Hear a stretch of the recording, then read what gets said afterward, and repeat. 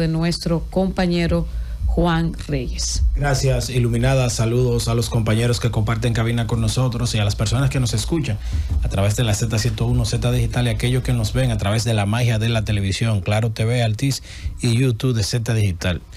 Hoy los salvadoreños conmemoran el 44 aniversario del asesinato de Oscar Arnulfo Romero, obispo de San Salvador, que fue asesinado el 24 de marzo de 1980 en la iglesia de la Divina Providencia, en el centro de San Salvador. Cito porque este hecho provocó un cambio, si podemos decir, de 360 grados en El Salvador, que era gobernado por militares en ese momento, y esto terminó agriando un poco más la guerra civil que había por los denominados escuadrones de la muerte. Y es un punto de inflexión para muchos cambios en El Salvador y es considerado el primer santo de El Salvador, ya que fue eh, convertido en santo por el Papa Francisco en el año 2016. Oscar Arnulfo Romero. Ahí también Rubén Blades le dio vida a su figura en la denominada salsa El Padre Antonio y su, y su monaguillo Andrés para resaltar eh, su figura y sus aportes en la lucha por la democracia, el respeto de los derechos y el cese de la violencia en San Salvador, en El Salvador. Ahí está. Señores, quiero hablar algo breve sobre lo que dijo Danilo Medina el pasado sábado en Puerto Plata. No quiero hablar de cosas futuras porque el futuro eh, no lo controlamos. Y el presente podemos estar conscientes de qué está pasando ahora o qué pasó. Pero el futuro siempre tendrá el factor tiempo para demostrar que cada acción eh, que se tome o cada decisión que se ejecute, que cada acción que cada decisión que se tome y cada acción que se ejecute tendrá un resultado y eso lo determinará el tiempo. Y quiero decir que muchos han criticado a Danilo Medina y déjenme decirle algo. Danilo habló como un líder de partido político. Danilo arengó su tropa. Fue una arenga que le hizo Danilo.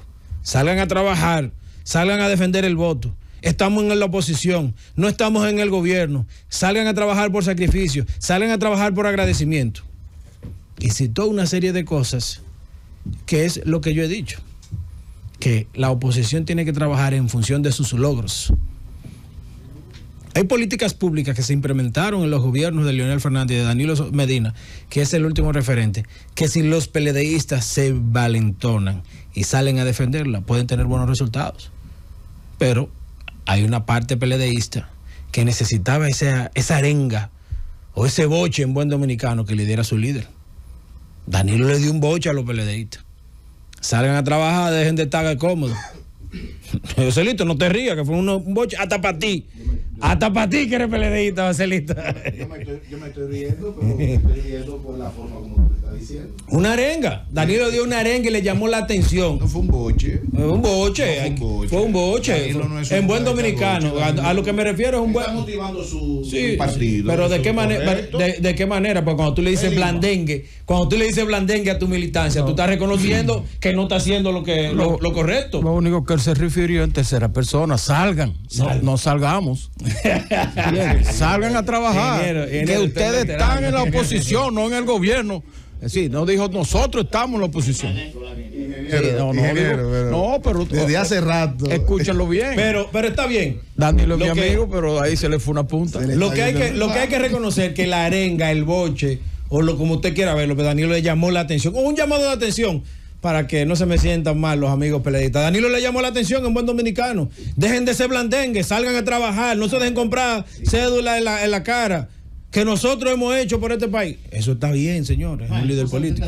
Y más lejos, me llamó mucho la atención cuando dice, no, no permitan que en sus narices compren voto y monten esa carpa. Ah, pero yo estoy de acuerdo con hagan eso. algo. Pero yo estoy de acuerdo con ah, eso. Ese, ese pero yo estoy de acuerdo con eso. que debió decirlo. Pero está bien, que ahora es mi comentario y, y, y hay que decirlo. Eh, Danilo, ese llamado de atención que hizo Danilo, ese llamado de atención que hizo Danilo es correcto. Es correcto. Y los peleadistas lo que tienen que dejar de estar de ñoño, de complicado y salgan a trabajar porque es verdad. Si usted, eso para que ustedes vean, señores, que los partidos son una cosa. Hay gente que sabe de política cuando están en el poder. El que se fue no hace falta. ajá. Pero que hay gente que sabe de política cuando están en el poder. Y cuando hay que salir a dejar la suela de los zapatos en la calle, no saben. Están asustados, tienen miedo. No se presen, señores. La política es constante. Y es, de, es de trabajo tesonero y firme. Y déjenme decirle algo. Danilo tiene derecho a hablarle así a los peledeístas. Fue el último gobernante que tuvo esa organización tiene derecho.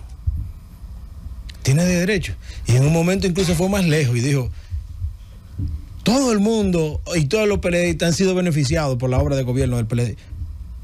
Tiene derecho a hablarle así, a llamarle la atención o darle su bocha a los PLDistas que quieren ahora sentarse fino, se acomodar un tanto que hasta para trabajar política necesitan comodidad. Y está bien ese llamado que hizo Danilo Medina a los PLDistas. Y miren, mi tema central rápidamente. Eh, ayer hubo una marcha hacia la ONU. Yo no sé quién organizó la marcha. Yo sé que hubo sectores, figuras que fueron a esa marcha de la ONU, de que en contra de los campos de refugiados en República Dominicana. Y yo no entiendo, no le veo sentido. Hay cosas que yo no le veo sentido. ¿Saben por qué yo no le veo sentido? Aquí nunca se había tenido una posición tan contundente y tan clara como se ha tenido ahora. El gobierno, ¿qué dijo el presidente? No aceptaremos campos de refugiados y van a continuar las deportaciones. Estamos haciendo un muro. Se ha reforzado la seguridad de la frontera. Se le ha comprado equipo a los militares para resguardar la frontera. Y aquí hay gente todavía marchando con la ONU. Señores, dejen de buscar notoriedad. Aquí hay gente que tiene un exceso de, de buscar notoriedad y de querer coger brillo, que uno no lo comprende. Ya no se dijo que no se iba a permitir que campos refugiados a la ONU. No se dijo que iban a continuar las deportaciones. Y no siguen saliendo los haitianos que son deportados. Entonces, el momento está muy álgido y muy complicado para venir un grupito, porque es un grupito, si fuera un, un grupito, pero un grupito. Yo soy partidario de las posiciones, pero no del extremismo.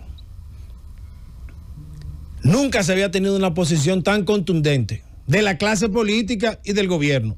Porque aquí hay una posición contundente de la clase política y el gobierno. Nunca como ahora se había tenido una coincidencia tal de una posición tan fuerte, firme y decidida contra un organismo internacional como la tiene el gobierno dominicano y como la tiene la clase política local en torno a la ONU. Entonces, no vamos a tratar de forzar situaciones, evocar cosas que nada tienen que ver. Hay gente que cree que el gobierno es las redes sociales. Las redes sociales no son el gobierno, son mecanismos de comunicación y de expresión de lo que usted cree. Hay gente que quiere, vámonos, a un grupo, vámonos para allí, vamos a hacer tal cosa. No, señores. Los gobiernos son más que eso. Las posiciones son más que eso. Porque si usted me dice, vamos a organizar una marcha un respaldo a la patria. No le digo, una marcha contra la ONU. No, no busquemos tanta notoriedad.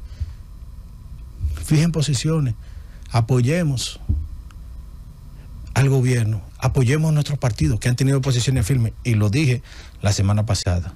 Abel, Leonel y Luis Abinader y todos los actores de la clase política han fijado posición contundente en seguir los lineamientos del país. Si hemos fijado una posición contundente, no tratemos de pescar en río revuelto en busca de notoriedad o de ganar posicionamiento, porque un tema ha tomado otros ribetes.